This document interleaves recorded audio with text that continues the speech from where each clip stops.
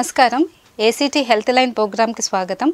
నా పేరు doctor Panduranga Kumari radiation and medical ఆంకాలజిస్ట్ని cancer స్పెషలిస్ట్ని. డాక్టర్ గారు అసలు క్యాన్సర్ అంటే ఏమిటి? ఎలా వస్తుంది? ఏ ఏ భాగాలకు ఎక్కువగా సోకుతుంది? క్యాన్సర్ అంటే మన శరీరంలో కణాలు ఉంటాయి. అవి ప్రతిరోజు పెరుగుతూ ఉంటాయి మరణిస్తూ ఉంటాయి. అది జీవన శైలిలో ఒక భాగం అన్నమాట. అదే కణాలు నియంత్రణ లేకుండా పెరిగితే ఆ ప్రదేశంలో కానీ ఆ అవయంలో కానీ క్యాన్సర్ వస్తుంది. క్యాన్సర్ అంటే ఒక గడ్డలాగా ఏర్పడి అది మిగతా అవయవాలకి మొత్తం శరీరం పాకుతుంది అనమాట ముఖ్యంగా ఏ ఏ అవయవాలకు వస్తాయంటే అన్ని శరీరంలో అన్ని భాగాల్లోనూ క్యాన్సర్ రావచ్చు. కానీ ముఖ్యంగా ఆడవాళ్ళల్లో ముఖ గర్భసంచి ముఖద్వార క్యాన్సరు రొమ్ము క్యాన్సర్లు ఎక్కువగా వస్తాయి. అదే మగవాళ్ళల్లో అయితే నోటి క్యాన్సర్లు ఊపిరితిత్తుల క్యాన్సర్లు ఎక్కువగా వస్తాయి. అలాగే ఇండియాలో ఇంకా మిగతా క్యాన్సర్లు చూసుకుంటే కడుపు క్యాన్సర్లు పెద్దపేగు క్యాన్సర్లు ఎక్కువగా వస్తూ ఉంటాయి. ఇంకా వాటి లక్షణాల గురించి తెలుసుకుంటే వరల్డ్ హెల్త్ ఆర్గనైజేషన్ ఏం చెప్పిందంటే ప్రతి పది మందిలో ఒకరికి క్యాన్సర్ వచ్చే అవకాశం ఉంది. అలాగే ప్రతి పదిహేను మందిలో ఒకరు క్యాన్సర్తో చనిపోయే అవకాశం ఉందని చెప్తుంది. ఇదంతా కేవలం మన జీవన శైలిలో మార్పుల వల్ల చెడు అలవాట్ల వల్ల వస్తున్నాయి. ప్రపంచవ్యాప్తంగా ప్రతి ఫిబ్రవరి నా నాలుగో తారీఖున క్యాన్సర్ డే కింద పాటిస్తామన్నమాట. ఆ రోజు ఏంటంటే ప్రజలందరికీ క్యాన్సర్ గురించి అవగాహన ఇవ్వటము క్యాన్సర్ కారణాలు క్యాన్సర్కి ఎలా నియంత్రించుకోవచ్చు అని అవగాహన ఇస్తారు. దీనివల్ల ఏంటంటే క్యాన్సర్ ముందుగానే మొదటి రెండో దశలో గుర్తించి చికిత్స చేయడం వల్ల చాలా వరకు ప్రాణాలను కాపాడుకోవచ్చు. ఇంకా ముఖ్యంగా చెప్పాలంటే క్యాన్సర్ ఆడవాళ్ళ క్యాన్సర్ తీసుకుంటే ఆడవాళ్ళల్లో గర్భసంచి ముఖద్వార క్యాన్సర్లు చాలా ముఖ్యమైన క్యాన్సర్లు ఎక్కువగా వచ్చే క్యాన్సర్లో ఒకటి. అది ఏంటంటే ఆడవాళ్ళల్లో లో సోషో ఎకనామిక్ స్టేటస్ అంటే లేని వాళ్ళల్లో శుభ్రత లేకపోవడం వల్ల లేకపోతే తొందరగా పెళ్ళి కావటము లేకపోతే తొందరగా లైంగిక సంబంధాలు ఉండటము ఎక్కువ మందితో లైంగిక సంబంధాలు ఉండటం వల్ల లేకపోతే ఎక్కువ మంది పిల్లల్ని కనటము చిన్న వయసులోనే పిల్లల్ని కనటం వల్ల ఇన్ఫెక్షన్స్ హ్యూమన్ ప్యాప్లియోమా వైరస్ అనే ఇన్ఫెక్షన్ వల్ల ఈ క్యాన్సర్లు ఎక్కువగా వస్తూ ఉంటాయి. ముఖ్యంగా ఆడవాళ్ళలో క్యాన్సర్లు లేట్గా ప్రజెంట్ మూడో దశలోను క్యాన్సర్లో మొత్తం నాలుగు దశలు ఉంటాయి. మొదటి దశ అంటే ఎక్కడైతే మొదలైందో అక్కడే ఉంటాము. రెండో దశ అంటే ఆ అవయవంలో మిగతా భాగాలు పాకటము. మూడో దశ చుట్టుపక్కల అవయవాలకు కూడా పాకటము. నాలుగో దశ అంటే శరీరం మొత్తం పాకటం. మనకి క్యాన్సర్ లక్షణాలు దాని నివారణ తెలిస్తే మొదటి రెండు దశలు లేక ఒక్కొక్కసారి మూడో దశలో కూడా మనం చికిత్స చేసి నయం చేయవచ్చు. నాలుగో దశ అంటే శరీరం మొత్తం పాకితే క్యాన్సర్ నివారణ కొంచెం కష్టం అవుతుంది చికిత్స నివారణ కష్టం అవుతుంది ఈ క్యాన్సరు గర్భసంచి ముఖద్వార క్యాన్సరు మొదటి దశలోనూ దాని రాకముందే ప్రీ క్యాన్సర్ స్టేజ్ అంటారు. ఆ స్టేజ్లో కూడా గుర్తించడానికి చాలా మట్టికి క్యాన్సర్లకి మనకి పద్ధతులు ఉన్నాయి డాక్టర్ గారు క్యాన్సర్ లక్షణాలు నిర్ధారణ పరీక్షల గురించి వివరిస్తారా? క్యాన్సర్ లక్షణాలు శరీరంలో ఏ అవయవంలో మొదలైంది అన్న దాన్ని బట్టి లక్షణాలు మారుతూ ఉంటాయండి. ఆడవాళ్ళలో తీసుకుంటే గర్భసంచి ముఖద్వార క్యాన్సర్ నేను చెప్పినట్టు తెల్లబట్ట ఎక్కువ అవ్వటం ఎర్రబట్ట ఎక్కువ అవ్వటం ఎప్పుడన్నా భార్యాభర్తలు కలిసినప్పుడు రక్తస్రావం ఎక్కువ అవ్వటము నెలసర్ల మధ్యలో రక్తస్రావం అవ్వటము ఇలాంటి కారణాల వల్ల రక్తం ఎక్కువ పోయినప్పుడు వెంటనే చూపించుకోవాలి. ఇది గర్భసంచి ముఖద్వార క్యాన్సర్లో ముఖ్యమైన లక్షణాలు.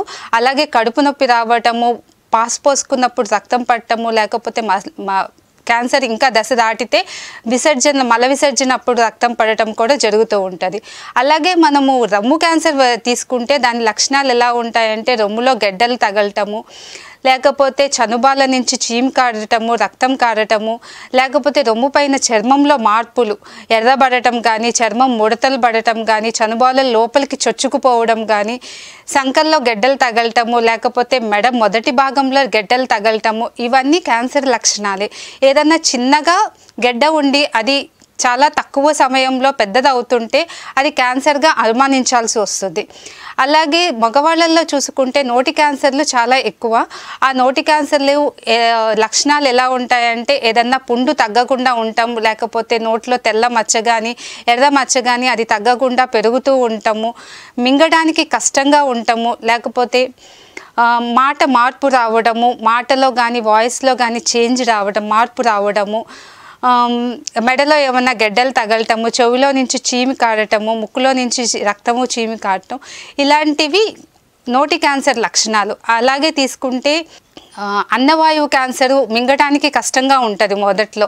బాగా మెత్తగా చేసుకుంటే కానీ అన్నం మింగుడు పడదు. అది క్యాన్సర్ పెరుగుతూ ఉన్న కొద్దీ ఏమవుతుందంటే ఈ మంచినీళ్ళు తాగడానికి కూడా కష్టమయ్యి ఆఖరి దశలో ఉమ్ము మింగడానికి కూడా కష్టమవుతుంది. అదే కడుపు క్యాన్సర్ తీసుకుంటే మాటి మాటికి ఏదైనా తిన్న వెంటనే కడుపు నొప్పి రావటము వాంతులు అవ్వటము రక్తంతో కూడిన వాంతి పడటము లేకపోతే కడుపు నొప్పి బాగా విపరీతంగా నొప్పి రావటము ఇలాంటి కా లక్షణాలు ఉంటాయి అదే పెద్ద పేగు క్యాన్సర్ తీసుకున్నామంటే పెద్ద పేగులో ముఖ్యంగా ఏంటంటే మన ఆహార అలవాట్లు మార్పు వల్ల వస్తుంది. దీర్ఘకాలంగా మలబద్ధకం ఉండటం వల్ల విరోచనం అయినా కూడా వెంటనే మళ్ళీ వెళ్ళాలనిపించడము అయినా కూడా ఇంకా అక్కడ ఏదో మిగిలిపోయినట్టు అనిపించడము లేకపోతే కొంతమందికి ఒక రెండు రోజులు మలబద్ధకంగా అనిపించి తర్వాత ఎక్కువ సార్లు విరోచనాలు అవ్వటము. ఇది ఆల్టెడ్ బౌల్డ్ హ్యాబిట్స్ అంటాము. అంటే ఒక రోజు మలబద్ధకం ఉండి మరుసటి రోజు రెండు మూడు సార్లు మోషన్ అవ్వటం. మళ్ళీ మరుసటి రోజు మలబద్ధకం ఉంటాము. ఇలా ఉంటాము ఇదంతా పెద్ద పేగు లక్షణ క్యాన్సర్ లక్షణాలు. లేకపోతే విరోచనంలో రక్తం పడటము. చాలామందికి పైల్స్ అని అశ్రద్ధ చేస్తారు. అది పైల్స్ దీర్ఘకాలకంగా ఎక్కువ కాలం ఉన్నా కూడా అది క్యాన్సర్గా మారే ప్రమాదం ఉంటుంది. ఇది పెద్ద పేగు కా- క్యాన్సర్ లక్షణాలు. ఇంకా ఊపిరితిత్తుల క్యాన్సర్ తీసుకుంటే దగ్గు రావటము దగ్గు తగ్గకపోవటము ఆరు వారాల కన్నా ఎక్కువ దగ్గు తగ్గకపోవటము దగ్గులో రక్తం పడటము లేకపోతే ఆయాసం రావటము ఒక పక్కకు పడుకుంటే ఆయాసం ఎక్కువ అవ్వటము వాయిస్ మార్పు రావటము హోర్స్నెస్ ఆఫ్ వాయిస్ అంటాము అంటే బొంగురుగా రావటము ఇవన్నీ క్యాన్సర్ లక్షణాలు. ఒక్కొక్క అవయవం ఎక్కడ పుడుతుందో దాన్ని బట్టి క్యాన్సర్ లక్షణాలు మారుతూ ఉంటాయి. అదే చర్మ వ్యాధుల క్యాన్సర్ తీసుకుంటే ఏదన్నా చిన్న పుట్టుమచ్చ సడన్గా పెరగటము తక్కువ సమయంలో పెరిగిపోవడము లేకపోతే దాంట్లో మార్పులు రావటము ఇవన్నీ క్యాన్సర్ లక్షణాలు. ఎక్కడైనా మనకి చాలా రోజుల నుంచి ఒక గెడ్డ తగ్గకుండా ఉంది లేకపోతే ఒక పుండు తగ్గకుండా ఉంది. ఆ గెడ్డ లేకపోతే సడన్గా ఒక మచ్చ కానీ పులిపిలు కానీ సడన్గా మార్పు చెంది వెంటనే చాలా సీ తొందరగా పెరుగుతుంది అంటే ఇవన్నీ క్యాన్సర్ కారణ లక్షణాలను తెలుసుకొని వెంటనే డాక్టర్ని సంప్రదించడం మంచిది. డాక్టర్ గారు తొలి దశలో క్యాన్సర్ను ఎలా గుర్తించవచ్చు? తొలి దశలోనే మొదటి దశ అంతకన్నా ముందు ప్రీ క్యాన్సర్ స్టేజ్ అంటాము. అది స్క్రీనింగ్ స్టేజెస్ స్క్రీనింగ్ టెక్నిక్స్ ఉంటాయి. దాని ద్వారా మనకి క్యాన్సర్ గుర్తించవచ్చు. అది కూడా ఒక్కొక్క అవయవం బట్టి మారుతూ ఉంటుంది. ఇప్పుడు గర్భసంచి ముఖద్వార క్యాన్సర్ తీసుకున్నాం అనుకోండి దాంట్లో పాప్స్మియర్ అంటే తెల్లబట్ట ఎర్రబట్ట అవ్వక ముందు ప్రతి సంవత్సరము ఆడవాళ్ళు నలభై సంవత్సరాలు దాటిన వాళ్ళు ముఖద్వారం నుంచి ఆ, రసిని తీసి పరీక్ష చేస్తే అందులో ఏమన్నా క్యాన్సర్ మార్పులు జరిగినాయా? కణాలు శరీరంలో కణాల్లో క్యాన్సర్ మార్పులు అని తేల్చుకున్నప్పుడు అప్పుడు వైద్యం మొదటి కన్నా ముందే వైద్యం చేసుకుంటే చాలా బాగుంటుంది. అలాగే గర్భసంచి ముఖద్వారంలో క్యాన్సర్ గుర్తించడంలో పాప్స్మియర్ ముఖ్యమైంది. తర్వాత టీకాలు ఉన్నాయి హ్యూమన్ పాప్లియోమా వైరస్ గర్భసంచి ముఖద్వారం క్యాన్సర్ నేను చెప్పినట్టు హ్యూమన్ పాప్లియోమా వైరస్ అని ఒక ఇన్ఫెక్షన్ వల్ల వస్తుంది. దాన్ని నిర ని- నియంత్రించుకోవడానికి మనకి టీకాలు అందుబాటులో ఉన్నాయి. ఇండియాలో రెండు రకాల టీకాలు ఉన్నాయి. ఈ టీకాలు ఏంటంటే తొమ్మిది నుంచి ఇరవై ఆరు సంవత్సరాల పిల్లలు ఆడపిల్లల్లో. అది లైంగిక సంబంధం స్టార్ట్ అవ్వక ముందు తీసుకుంటే మంచిది. ఆ క్యాన్సర్ నివారించుకోవచ్చు. ఇవి గర్భసంచి ముఖద్వారంలో క్యాన్సర్ నివారించడానికి పద్ధతులు. ప్యాప్స్మియరు టీకాలు. ప్యాప్స్మియర్లో ఏమన్నా తేడాలు వస్తే కాల్పోస్కోపిక్ ఎగ్జామినేషన్ చేయడము. అలాగే మనం రొమ్ము క్యాన్సర్ తీసుకుంటే ప్రతి మహిళ వాళ్ళు ఫ్రీక్వెంట్గా బ్రెస్ట్ సెల్ఫ్ బ్రెస్ట్ ఎగ్జామినేషన్ అంటారు. స్వయంగా బ్రెస్ట్ని రొమ్ముని పరీక్షించుకోవాలి వాళ్ళు. అది టెక్నిక్ ఉంటుంది. చ చేతులతో ఏమన్నా రొమ్ములు గెడ్డలు ఏమన్నా తగులుతున్నాయా అని స్నానం చేసేటప్పుడు పరీక్షించుకొని లేకపోతే చనుబాలను ఒత్తుకుంటే ఏమన్నా రక్తం కానీ రసికాడుతున్నట్టు అనిపిస్తే వెంటనే డాక్టర్ దగ్గరికి వెళ్ళాలి. అలాగే ప్రతి సంవత్సరానికి ఒకసారి డాక్టర్ గైనకాలజిస్ట్ కానీ ఎవరైనా క్యాన్సర్ స్పెషలిస్ట్ కానీ ద్వారా రొమ్ము పరీక్ష చేయించుకోవాలి. దీని ద్వారా వాళ్ళకి మొదటి దశ అంతకు ముందే ఇదయ్యే గెడ్డలు ఏమన్నా ఉంటే తెలుస్తాయి. అలాగే ప్రతి సంవత్సరం మ్యామోగ్రఫీ అన్నది చేయించుకుంటే నలభై సంవత్సరాలు దాటిన వాళ్ళకి లేకపోతే కుటుంబంలో క్యాన్సర్ లక్షణాలు ఎక్కువగా ఉన్న వాళ్ళకి కుటుంబంలో క్యాన్సర్ అమ్మకి కానీ అమ్మమ్మకి కానీ చెల్లికి కానీ పిన్నికి కానీ ఆడవాళ్ళల్లో ఇలాంటి వాళ్ళల్లో క్యాన్సర్ ఉన్నవాళ్ళు కుటుంబ పర్యంగా క్యాన్సర్ వచ్చిన రొమ్ము క్యాన్సర్ వచ్చిన వాళ్ళకి అవకాశాలు ఎక్కువ ఉన్న వాళ్ళు మెమోగ్రఫీ అంటారు. అది ఒక ఎక్స్రే కిరణాల ద్వారా చేసే పరీక్ష. దాంట్లో మొదటి దశలోనే ఉన్న క్యాన్సర్ గడ్డలు తెలుస్తాయి మనకి. ఇవి రొమ్ము క్యాన్సర్లో మనకి మొదటి దశలోనూ అంతకు ముందు దశలోనే నిర్ధారించే పరీక్షలు. ఏంటంటే సెల్ఫ్ బ్రెస్ట్ ఎగ్జామినేషన్ ఆడవాళ్ళు స్వయంగా రొమ్ము పరీక్ష చేయించుకోవటము మెమోగ్రఫీ.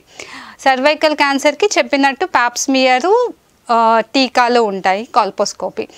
అలాగే ఊపిరితిత్తుల క్యాన్సర్ తీసుకుంటే మనకి ఊపిరితిత్తుల క్యాన్సర్లో ఉమ్ము పరీక్షలో ఏమన్నా రక్త కణాలు ఉన్నాయా? లేకపోతే low dose HCR city scan అంటారు. తక్కువ కిరణాలతో సిటీ స్కాన్లు చేసి మొదటి దశలో ఏమన్నా క్యాన్సర్లు గుర్తించగలిగితే దాన్ని చికిత్స తొందరగా అవుతుంది.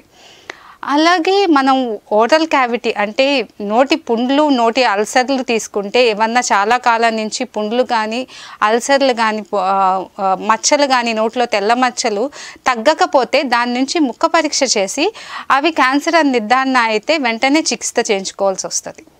డాక్టర్ గారు మహిళల్లో కనిపించే క్యాన్సర్లు వాటి లక్షణాల గురించి తెలియజేస్తారా?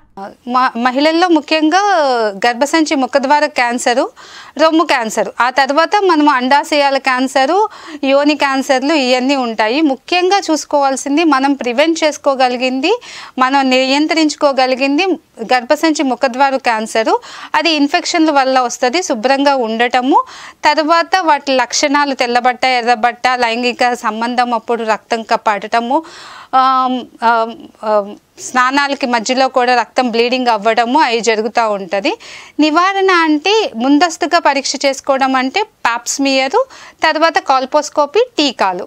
రొమ్ము క్యాన్సర్లో అయితే మెమోగ్రఫీ అది ఎక్స్రే కిరణాల ద్వారా మెమోగ్రఫీ పరీక్ష ఉంటుంది. తర్వాత ఆడవాళ్ళు స్వయంగా రొమ్ము పరీక్ష చేయించుకోవటం డాక్టర్ చేత ఫ్రీక్వెంట్గా రొమ్ము పరీక్ష చేయించుకోవటం. అలాగే కొలనోస్కోపీ పెద్ద పేగు క్యాన్సర్లో మనకి ముందస్తుగా గుర్తించడానికి పద్ధతులు ఉంటాయి అవేంటంటే అకల్ట్ స్టూల్ బ్లడ్ ఎగ్జామినేషన్ అంటారు. మల మలం పరీక్ష చేస్తారు. అందులో రక్తం ఏదన్నా కనపడితే దాని ద్వారా క్యాన్సర్ ఉందని నిర్ధారించుకోవచ్చు. లేకపోతే కొలనోస్కోపీ సిగ్మాటోస్కోపీ పరీక్షలు ఉంటాయి ఒక గొట్టం లాంటి దానికి కెమెరా ఉంటుంది చివర. అది కింద నుంచి పంపించి లోపల ఏమన్నా క్యాన్సర్ గెడ్డలు కానీ క్యాన్సర్ పేగు వర్పులు కానీ ఏమన్నా ఉంటే అక్కడి నుంచి ముక్క పరీక్ష చేసి పరీక్షకి పంపించి క్యాన్సర్ అని నిర్ధారణ చేసుకోవచ్చు. డాక్టర్ గారు పురుషుల్లో ఎలాంటి క్యాన్సర్లు కనిపిస్తాయి? పురుషుల్లో ముందస్తుగా కనిపెట్టే క్యాన్సర్లో మనకి నోటి క్యాన్సర్లు చూడగానే తెలుస్తుంది. ఏమన్నా నోటిలో తగ్గని పుండ్లు ఉన్నా లేకపోతే తెల్ల మచ్చలు ఇలాంటివి ఉన్నా లేకపోతే నోటి మాటలో మార్పు వచ్చినా గొంతు బొంగురు పోయినా ఇలాంటి వాటి వల్ల మనకి తెలుస్తుంది. అలాగే లంగ్ క్యాన్సర్. లంగ్ క్యాన్సర్లో ఎక్కువగా స్మోకింగ్ వల్ల వస్తుంది. లంగ్ క్యాన్సర్లో స్ఫుటంలో ఏమన్నా రక్తం ఉందా? లేకపోతే బ్రాంకెల్ వాషింగ్స్ అంటారు. ఊపిరితిత్తుల్లో బ్రాంకోస్కోపీ చేసి అక్కడి నుంచి కణాలు తీసి పరీక్షకు పంపిస్తారు. అందులో ఏమన్నా క్యాన్సర్ కణాలు ఉన్నాయా? లేకపోతే సిటీ స్కాన్లో ఏమన్నా క్యాన్సర్ తెలుసు క్యాన్సర్ గడ్డలు కనపడితే అవి పరీక్షకి పంపిస్తారు. తర్వాత ఇంకా పురుషుల్లో తీసుకుంటే ప్రాస్టేట్ క్యాన్సర్ ఇవన్నీ రక్త పరీక్షల ద్వారా పిఎస్ఏ టెస్టుల ద్వారా స్క్రీనింగ్ టెస్టులు అంటారు. వాటిల్లో ముందే మనకి తెలుస్తుంది క్యాన్సర్ అనేది. డాక్టర్ గారు కాలన్ క్యాన్సర్ అంటే ఏమిటి? లక్షణాలు చికిత్సా విధానం గురించి తెలియజేస్తారా? కోలన్ క్యాన్సర్ అంటే పెద్ద పేగు క్యాన్సరు. పెద్ద పేగుని కోలన్ అంటారు. అవి దా కింద మల విసర్జన ద్వారం అయితే రెక్టము యానలు. ఈ మొత్తం క్యాన్సర్ని కోలోరెక్టల్ క్యాన్సర్స్ అంటారు. ఇవి ముఖ్యంగా ఏంటంటే మన ఆహార శైలిలో మార్పుల వల్ల అంటే ఫైబర్ రెడ్ మీట్ ఎక్కువ తింటాం. అంటే మాంసం ఎర్ర మాంసం మేక మాంసము బీఫ్ ఇవన్నీ ఎక్కువ తినటం వల్ల మల విసర్జన సరిగ్గా అవ్వకపోవటము దీర్ఘకాలంగా మల మలబద్ధకం ప్రాబ్లం ఉండటం వల్ల అక్కడే మలం అలా పేరుకుపోయి క్యాన్సర్ అయ్యే కా లక్షణాలు ఎక్కువగా ఉంటాయి. దీనికి సొల్యూషన్ ఏంటి అంటే ఆకుకూరలు ఎక్కువ తింటాం కాయగూరలు ఎక్కువ తింటాం ఫైబర్ కంటెంట్ పీచు పదార్థాలు ఎక్కువ తింటాము ఆహార శైలిలో మార్పులు సెడెంటరీ లైఫ్ స్టైల్ అంటాం. అంటే ఎక్కువసేపు అలాగే కూర్చొని ఉంటాం. ఏమి పని చేయకపోవడం వల్ల ఏమవుతుందంటే కొలెస్ట్రాల్ పెరిగిపోయి fat content fat rich diets ఇవన్నీ తీసుకోవడం వల్ల మనకి కోలాన్ క్యాన్సర్స్ ఎక్కువగా వస్తాయి. కోలాన్ క్యాన్సర్లో లక్షణాలు ఏంటంటే మలబద్ధకం విరోచనం అప్పుడు రక్తం పట్టము లేకపోతే రెండు మూడు రోజులు మలబద్ధకం ఉండి ఆ తర్వాత ఒకేసారి నాలుగైదు మోషన్స్ అవ్వటము ఇది ఆల్టెడ్ బౌల్ హ్యాబిట్స్ అంటారు. లేకపోతే పైల్స్ దీర్ఘకాలకంగా పైల్స్ ఉంటాము ఆ పైల్స్ నుంచి రక్తం కారి దాని అది క్యాన్సర్గా మారటం ఇవన్నీ పెద్దపేగు క్యాన్సర్ లక్షణాలు. కొన్ని కుటుంబ పర్యంగా కూడా పెద్దపేగు ప- క్యాన్సర్లు వస్తాయి. వాళ్ళు కూడా ముందస్తుగా ఎప్పుడు గుర్తించవచ్చు అంటే అకల్ట్ స్టూల్ బ్లడ్ ఎగ్జామినేషన్ అంటారు. స్టూల్ ఎగ్జామినేషన్ అంటే మలం ఎగ్జామినేషన్లో ఏదన్నా రక్తం కనపడినా లేకపోతే కొలనోస్కోపీ చేసి కెమెరా పరీక్ష చేస్తే ఏమన్నా గెడ్డలు కనపడితే వాటి ద్వారా మనకి ఆ గెడ్డ నుంచి ముక్క పరీక్ష చేసి క్యాన్సర్ అని నిర్ధారణ చేసుకోవచ్చు. డాక్టర్ గారు లంగ్ క్యాన్సర్కు కారణాలు లక్షణాలు చికిత్సా విధానం గురించి వివరిస్తారా? లంగ్ క్యాన్సర్కి ముఖ్యమైన కారణం స్మోకింగ్ అనండి ఇండియాలో అన్ని క్యా మోస్ట్ ఆఫ్ ద క్యాన్సర్స్కి చాలా మట్టికి క్యాన్సర్కి స్మోకింగ్ ఆ స్మోకింగ్ రెండు రకాలు. ఒకటి సిగరెట్ చుట్టా బీడీస్ ఈ ఇలాగా పొగ వచ్చేవి పొగ రానివి. తంబాకు గుట్కా పాన్ పరాగు ఇవి. అడ్డ పొగ అంటారు. వెనక్కి కాల్చి కాలుస్తారు. ఇవన్నీ కారణాలు. ముఖ్యంగా సి- మన ఇండియాలో సిగరెట్ స్మోకింగే పొగాకు కా పొగాకే ముఖ్యమైన కారణము. లంగ్ క్యాన్సర్కి దీని లక్షణాలు ఎలా ఉంటాయంటే దగ్గు తగ్గకుండా ఉంటుంది. ఆరు వారాల కన్నా ఎక్కువ దగ్గు తగ్గకుండా దగ్గితే రక్తం పడుతుంటే అన్ని మాత్రలు వేసుకున్నా దగ్గు తగ్గకపోయినా ఎప్పుడన్నా ఆయాసం ఎక్కువ రావడం పడుకుంటే ఆయాస పడటము నోట్ మార్పులు గడ్డ మెడ మొదట్లో గడ్డలు రావటము గొంతు బొంగుడు పోవటం ఇవన్నీ లక్షణాలు ఊపిరితిత్తుల క్యాన్సర్ వల్ల ఉంటాయి. ఇవి ఎలా నిర్ధారించవచ్చు అంటే ఉమ్ము పరీక్ష బ్రాంకెల్ వాషింగ్ అంటారు. ఉమ్ము పరీక్ష కంటం కన్నా ఆ బ్రాంకోస్కోపీ ద్వారా లోపలికి ఒక కెమెరా పంపించి ఊపిరితిత్తుల్లో చిన్న కణాలు తీసి అవి పరీక్ష చేస్తారు. ఆ పరీక్షలో ఏమన్నా క్యాన్సర్ మార్పులు ఉన్నాయా? లేకపోతే సిటీ స్కాన్ సిటీ స్కాన్ కానీ పెట్ స్కాన్లో కానీ ఏమన్నా గడ్డలు మొదటి దశలో ఉన్న గడ్డలు గుర్తించి వాటికి వైద్యం చేయటం. డాక్టర్ గారు క్యాన్సర్ చికిత్సలో ఆధునిక వైద్య విధానాల గురించి తెలియజేస్తారా? క్యాన్సర్ వైద్యం మూడు రకాలుగా ఉంటాయి. ఒకటి సర్జికల్ మెడికల్ రేడియేషన్. ఎప్పుడైతే ఒక క్యాన్సర్ చిన్న దశలో మొదటి దశలో ఒకటి రెండు దశల్లో ఉంటే మనకి తీయడానికి అలువుగా ఉన్న చోట్ల ఉంటే క్యాన్సర్ ఆపరేషన్ చేసి తీసేస్తాం. అది సర్జికల్ ట్రీట్మెంట్ అంటాము. ఒకవేళ అలా తీయలేని పరిస్థితిలో ఒక దశ దాటింది మూడో దశకు వచ్చింది అంటే ఒక్కొక్కసారి కీమోథెరపీ కీమో రేడియేషన్ కీమోథెరపీ అంటే ఒక సిలైన్ బాటిల్లో క్యాన్సర్ మందులు ఎక్కించడాన్ని కీమోథెరపీ అంటారు. రేడియేషన్ అంటే ఎక్స్రే కణాలు ద్వారా ఎక్స్రే రేస్ ద్వారా క్యాన్సర్ క్యాన్సర్ని కరిగించడం రేడియేషన్ థెరపీ. ఈ రెండు కీమోథెరపీ ఇస్తూ రేడియేషన్ థెరపీ ఇచ్చి ఒకవేళ గడ్డ కరగగలిగితే దాన్ని కరిగించడం. కొన్ని స్టేజెస్లో అంటే ఇప్పుడు సర్వైకల్ క్యాన్సర్ గర్భసంచి ముఖద్వారం క్యాన్సర్ రెండో స్టేజ్ నుంచి మూడో స్టేజ్కి వెళ్ళిపోయే మూడో స్టేజ్ వరకు నాలుగో స్టేజ్ కొన్ని వాటికి ఏంటంటే కీమో రేడియేషనే ట్రీట్మెంట్. ఆపరేషన్ చేయలేని పరిస్థితిలో ఉన్న కీమో రేడియేషన్ ముఖ్యంగా క్యాన్సర్కి ఈ మూడు పద్ధతుల్లోనే ట్రీట్మెంట్ ఇస్తారు. ఒకటి ఆపరేషను ఇంకొకటి కీమోథెరపీ ఇంకొకటి రేడియేషన్ థెరపీ. ఏ ఏ స్టేజ్ల్లో వాళ్ళు వస్తున్నారు ఏ ఏ స్టేజ్ల్లో మా దగ్గరికి వచ్చారు అన్న దాన్ని బట్టి ట్రీట్మెంట్ మారుతూ ఉంటుంది. ఆఖరి స్టేజ్ అంటే ప్ర- క్యాన్సర్ అవయవాల నుంచి మొత్తం శరీరం అంతా పాకిపోవడం. ఆఖరి స్టేజ్లో ఉన్న క్యాన్సర్ని చికిత్స చేయడం కష్టము. పాలియేటివ్ ట్రీట్మెంట్ అంటాం. వాళ్ళకి నొప్పి ఏదన్నా ఉన్నా కూడా లేకపోతే ఎక్కువ రక్తస్రావం అవుతుంటే అవి తగ్గించడానికి వాళ్ళ పనులు వాళ్ళు చేసుకునేటట్టు కొంచెం నొప్పి తగ్గి కొంచెం ఆయుష్ పెంచడానికి ప్రయత్నించడమే కానీ నాలుగో దశలో వచ్చిన క్యాన్సర్ని పూర్తిగా నయం చేయలేము. డాక్టర్ గారు నివారణే మార్గం అంటారు. అసలు క్యాన్సర్ రాకుండా ఎలాంటి జాగ్రత్తలు తీసుకోవాలి? క్యాన్సర్కి ముఖ్యంగా నివారణే మార్గము. ఎందుకంటే చాలా మట్టికి మన జీవన శైలిలో మార్పుల వల్ల లేకపోతే మన తప్పిదాల వల్లే క్యాన్సర్ వస్తుంది. నోటి క్యాన్సర్లు మగవాళ్ళలో నోటి క్యాన్సర్లు లేకపోతే ఊపిరితిత్తుల క్యాన్సరు అన్నవాయువు క్యాన్సరు స్టమక్ క్యాన్సర్ ఇవన్నీ తీసుకుంటే ముఖ్యంగా వచ్చేది పొగాకు వల్ల. పొగాకుని ఎంత తొందరగా మానేస్తే అంత మంచిది. పొగాకు మానేసిన ఈ రోజు నుంచి మానేసినా దాని యొక్క లాభం ఎక్కువగానే ఉంటుంది. ఆ పొగాకు ఒకవేళ మానలేకపోయినా దానికి మందులు కూడా ఉన్నాయి. పొగాకుని ఎలా మానాలి అన్నది. అలాగే అన్నవాయువు క్యాన్సర్ స్టమక్ క్యాన్సర్ తీసుకుంటే మన ఆహార శైలిలో మార్పులు. ఎక్కువగా నిలవ ఉన్న ఆహారం తీసుకోవడం లేకపోతే ఎక్కువ సార్లు ఆయిల్లో మరిగించిన ఆయిల్లో వేడి చేసిన ఆహారం తీసుకోవటం లేకపోతే బయట ఫాస్ట్ ఫుడ్స్ తీసుకోవటము ఇలాంటి ఆహార మార్పుల వల్ల స్టమక్ క్యాన్సర్ అన్నవాయువు క్యాన్సర్ వస్తుంది. అదే పెద్దపేగు క్యాన్సర్ తీసుకున్నట్టయితే ముఖ్యంగా ఆహార మార్పులు రెడ్ మీట్ ఎక్కువ తింటాము లేకపోతే ఆ, కూరగాయలు ఆకుకూరలు తక్కువ తిని పీచు పదార్థాలు తక్కువ తిని మోషన్ ఫ్రీగా అవ్వకపోవటం ఇవన్నీ కారణాల వల్ల ఇవన్నీ మన జీవన శైలిలో మార్పులు మన చేతుల్లో ఉన్నాయి. అందుకే క్యాన్సర్ని ఎప్పుడు నివారించుకోవడం తేలిక. వచ్చిన తర్వాత ట్రీట్మెంట్ కన్నా. అట్లే సర్వైకల్ క్యాన్సర్ బ్రెస్ట్ క్యాన్సర్ తీసుకుంటే చాలామంది ఆడవాళ్ళల్లో జరుగుతున్న తప్పిదం ఏంటంటే క్యాన్సరు చెప్పుకోలేక బయటికి రాక సోషల్ ఇన్హిబిషన్ అంటారు. రొమ్ములో ఏమన్నా గడ్డ ఉంటే అది చెప్పుకో ఎవరికి చెప్పుకోవాలి చెప్పుకో ఎవరికి చూపించుకోవాలి అని ఇంట్లోనే అలాగే ఉండిపోవడం వల్ల క్యాన్సర్ మాకు మా దగ్గరికి వచ్చేసరికి నాలుగో దశలోనో మూడో దశలోనో చేయి దాటిపోయిన దశలో వస్తున్నారు. అలాగే తెల్లబట్ట అవుతున్నా కూడా చాలా రోజుల నుంచి ఎవరికి చూపించుకోపోవటం ఇవన్నీ కారణాల వల్ల వాళ్ళు ఆలస్యంగా ప్రజెంట్ అవుతున్నారు.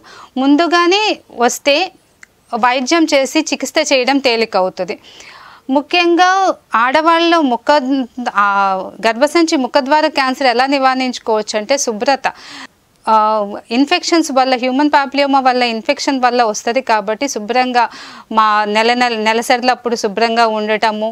ఆ తర్వాత చిన్న వయసులోనే పెళ్ళి కాకుండా ఇరవై సంవత్సరాల తర్వాతే పెళ్ళి చేసుకోవటము ఒకరితోనే లైంగిక సంబంధం ఉండటము తక్కువ మంది పిల్లల్ని కంటము ఇవన్నీ జాగ్రత్తలు తీసుకుంటే ముఖద్వార క్యాన్సర్లు తగ్గించవచ్చు అలాగే రొమ్ము క్యాన్సర్ ఏంటంటే ముందస్తుగా పరీక్ష చేసుకొని ఏదన్నా గడ్డ తగిలితే వెంటనే డాక్టర్ దగ్గరికి వెళ్ళటము ఏమన్నా మార్పులు చ- అనుభవాలలో అలాంటి మార్పులు కనిపిస్తే డాక్టర్ని సంప్రదించటము ముందస్తు పరీక్షలు చేయించుకోవటము ఆహార శైలిలో మార్పులు లావుగా ఉన్న వాళ్ళల్లో ఏమవుతుందంటే కొలెస్ట్రాల్ హార్మోన్స్ కింద మారుతుంది. ఆ హార్మోన్స్ వెళ్ళి మళ్ళీ రొమ్ము క్యాన్సర్ అయ్యే అవకాశం ఉంటుంది.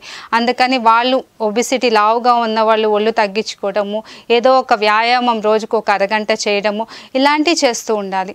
చాలామందికి ఏంటంటే కాన్సెప్ట్ క్యాన్సర్ అన్నది అంటువ్యాధేమో అనుకుంటారు. క్యాన్సర్ అంటువ్యాధి కాదు ఒకళ్ళ నుంచి ఒకళ్ళకి వ్యాప్తి చెందదు. అలాగే క్యాన్సర్ ఏ శాపము పాపము కాదు. మనం చేసిన తప్పిదాల వల్లే చాలా మట్టికి క్యాన్సర్లు వస్తాయి. అవి మన చేతిలోనే ఉంది నివారించుకోవడం కూడా. డాక్టర్ గారు స్టేజ్ ఫోర్లోనూ క్యాన్సర్ నుంచి పూర్తి స్వస్థత పొందిన దాఖలాలు ఏమైనా ఉన్నాయా? స్టేజ్ ఫోర్ క్యాన్సర్ అంటే క్యాన్సర్ శరీరంలో అన్ని అవయవాలకి పాకడం. అంటే ఊపిరితిత్తులకి ఎముకలకి లివర్కి ఇలా అన్ని చోట్ల మెదడుకి పా పాకిన క్యాన్సర్లు స్టేజ్ ఫోర్ అంటారు. చాలా రేర్గా స్టేజ్ ఫోర్ క్యాన్సర్లు తగ్గేవంటే ఈ కోరియోకార్సినోమా సెమినోమా ఇలాంటి లింఫోమా క్యాన్సర్లు ఉంటాయి. అవి కాకుండా ఈ బ్రెస్ట్ క్యాన్సరు కామన్గా వచ్చే క్యాన్సర్లు సర్వైకల్ క్యాన్సరు అంటే ముఖద్వార క్యాన్సరు లేకపోతే బ్రెస్ట్ క్యాన్సరు లేకపోతే నోటి క్యాన్సర్లు మనం ఇప్పుడు మాట్లాడుకున్న క్యాన్సర్లన్నీ స్టేజ్ ఫోర్కి వెళ్తే తగ్గడం కష్టం. అందుకనే ఈ అవగాహన సదస్సులన్నీ పెట్టేది ఎందుకంటే ముందస్తుగా గుర్తించడం కోసము అసలు ఆహార నియమాలు ఎలా మార్పు చే- తెచ్చుకోవాలి ఎలా మంచి జీవన శైలి పాటించాలి క్యాన్సర్ రాకుండా ఉండటం కోసం అని స్టేజ్ ఫోర్లో ఏంటంటే మనం ట్రీట్మెంట్ అంతా పాలియేటివ్ ట్రీట్మెంట్ అంటాం. వాళ్ళకి మెయిన్గా ఏంటంటే వాళ్ళకి ఎక్కడి నుంచి అన్న నొప్పి వచ్చినా లేకపోతే రక్తస్రావం ఎక్కువ అవుతున్నా లేకపోతే ఎముకలకి పాకినప్పుడు ఆ నొప్పి తగ్గించడం అక్కడి నుంచి ఇంకెక్కడా పాకకుండా ఉండటం కోసం ప్రయత్నిస్తాం. పాలియేటివ్ ట్రీట్మెంట్లో పాలియేటివ్ రేడియేషన్ ఎక్స్రే కణాలు పంపించడం వల్ల కానీ లేకపోతే కీమోథెరపీ ఇవ్వడం వల్ల. ఇదంతా కేవలం వాళ్ళ ఆయుష్ కొంచెం పెంచి వాళ్ళ పనులు వాళ్ళు చేసుకోవడానికి ప్రయత్నించడమే కానీ పూర్తిగా నయం అవుతుంది. కామన్గా వచ్చే క్యాన్సర్లో స్టేజ్ ఫోర్లో పూర్తిగా నయం అవ్వడం కష్టం. డాక్టర్ గారు స్టమక్ క్యాన్సర్ లక్షణాలు ఎలా ఉంటాయి? స్టమక్ క్యాన్సర్ కడుపు క్యాన్సర్లో ముఖ్యంగా ఏంటంటే తేపులు వస్తూ ఉంటాయి. ఏదన్నా గడ్డ ఉన్నప్పుడు ఏమన్నా తినగానే కడుపులో గడ్డ ఉన్నప్పుడు నొప్పి. ఎంత అది ఏ స్టేజ్లో ఉంది? చిన్నగా ఉన్నప్పుడు నొప్పి ఎక్కువ ఉండకపోవచ్చు. గడ్డ పెద్ద పెద్దదయ్యి చుట్టూ అవయవాలకి తగులుతున్నప్పుడు నొప్పి ఎక్కువ వస్తుంది. ఏదన్నా తినగానే వాంతులు అవ్వడము తిన్నది అరగపోవడము తేపులు అంటాం. ఇంకొకటి GR GRD gastroesophageal reflex disease అంటాము. అంటే తేపులు ఎక్కువ వచ్చి మన యాసిడ్ చాలామంది అప్పుడప్పుడు ఎక్స్పీరియన్స్ అయి ఉంటారు. కడుపులో గొంతులోకి పులితేపులు వచ్చినట్టు ఉంటుంది. ఇవన్నీ వాటి లక్షణాలు. తినగానే వాంతులు అవ్వడం లేకపోతే మల విసర్జన స్టూల్ నల్ల కలర్లో పడటము. ఎప్పుడన్నా బ్లీడ్ అయితే అది కిందకి వెళ్ళేసరికి నల్లగా మారుతుంది. అలా ఆ లక్షణాలు కనపడితే అది కడుపు క్యాన్సర్ లక్షణాలు అనుకోవచ్చు. దీనికి ముఖ్య కారణాలు ఏంటంటే కడుపు క్యాన్సర్కి సాల్ట్ అండ్ స్మోక్డ్ ఫుడ్స్ అంటాము. అంటే ఎక్కువ కాలం నిలవ ఉంచి ఉప్పు చేపలు ఎక్కువ కాలంగా నిలవ ఉంచి పచ్చళ్ళు ఎక్కువ కాలంగా నిలవ ఉండే పచ్చళ్ళు తినటం వల్ల వేడివేడిగా ఏమన్నా వస్తువులు తినటం వల్ల ఇవన్నీ క్యాన్సర్ కారణాలు.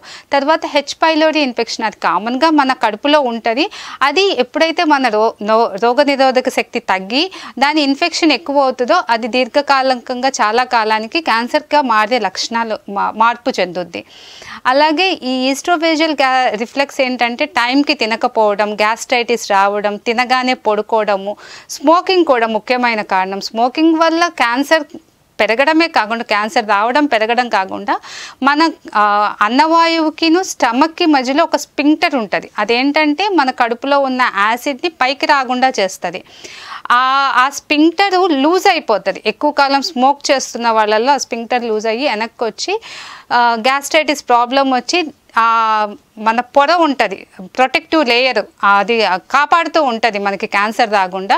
అది పాడైపోతుంది అనమాట ఎక్కువ కాలము అలా ఈస్ట్రోఫేజియల్ రిఫ్లెక్స్ రావద్దు అది నిదానంగా దీర్ఘకాల కాలంలో ఏమవుతుందంటే క్యాన్సర్గా మార్పు చెందుతుంది దీనికి లక్షణాలు ఈ లక్షణాలు ఉన్న వాళ్ళు డాక్టర్ని సంప్రదించి ఎండోస్కోపీ పరీక్ష చేస్తారు. ఎండోస్కోపీలో ఏంటంటే ఆ పుండు కానీ ఎక్కడన్నా అల్స్ గడ్డ కానీ కనపడితే అక్కడి నుంచి ముక్క పరీక్ష చేసి దాంట్లో ఏమైనా క్యాన్సర్ లక్షణాలు ఉంటే దానికి ట్రీట్మెంట్ ఇస్తారు. ఆ ట్రీట్మెంట్ నేను ఇంతకుముందు చెప్పినట్టు మూడు దశలుగా ఉంటుంది. సర్జికల్ ట్రీట్మెంట్ కీమో రేడియేషను కలిపి ఉంటుంది. డాక్టర్ గారు క్యాన్సర్ల నియంత్రణ సర్జరీల గురించి తెలియజేస్తారా? ఇప్పుడు ఆధునిక సర్జికల్ టెక్నిక్స్ అన్నీ చాలా ఉన్నాయండి. రోబోటిక్ సర్జరీస్ లాప్రోస్కోపిక్ అంటే ఇంతకుముందు పే ఏదన్నా ఆపరేషన్ చేయాలి అంటే చర్మం మీద కోత పడేది. ఇప్పుడు ఆ కోత చిన్న కోతగా ఉండేటట్టుగా లాప్రోస్కోపిక్ టెక్నిక్స్ రోబోటిక్ ప్రిసైజ్డ్గా ఉండటం కోసం రోబోటిక్ టెక్నిక్స్ చాలా అందుబాటులోకి వచ్చినాయి.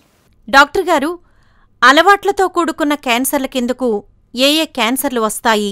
అలవాట్లు అంటే చెడు అలవాట్లలో ముఖ్యమైనది పొగాకు అలవాటు. దీంట్లో చాలా మట్టికి క్యాన్సర్లు వచ్చేస్తాయి. నోటి క్యాన్సర్లు అన్నవాయువు క్యాన్సరు ఊపిరితిత్తుల క్యాన్సరు ఆడవాళ్ళలో ముఖద్వార క్యాన్సర్లు ఇందాక చెప్పుకున్నట్టు ఇన్ఫెక్షన్స్ ఈ లైంగిక సంబంధాలే కాకుండా స్మోకింగ్ వల్ల కూడా వస్తుంది.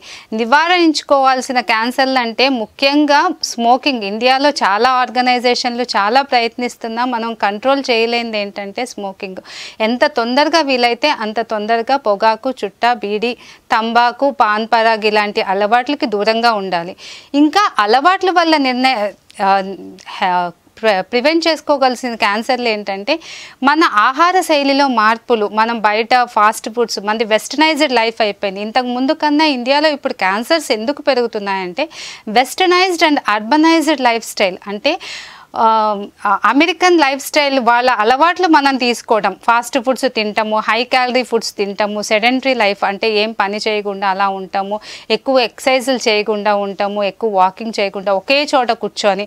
ఇప్పుడు కంప్యూటరైజ్డ్ వరల్డ్ అయిపోయింది. అందరూ కంప్యూటర్తోనే పనులు చేస్తున్నారు. ఒక చోటే కూర్చొని పని చేయడం కనీసం లెగన అవసరం కూడా లేకపోయింది దానివల్ల ఏంటంటే బాడీలో క్యాలరీస్ ఎక్కువ పడిపోయి ఆ క్యాలరీస్ కొలెస్ట్రాల్ ఫ్యాట్ ఇవన్నీ హార్మోన్స్ కింద మారిపోయి బ్రెస్ట్ క్యాన్సర్ ఓవేరియన్ క్యాన్సర్స్కి కారణం అవుతుంది అలాగే కాన్స్టిపేషన్ వచ్చేస్తుంది. ఎక్కడ కదలకుండా ఉండటం వల్ల ఒకే చోట ఉండటం వల్ల పీచు పదార్థాలు ఎక్కువ తినట్లేదు.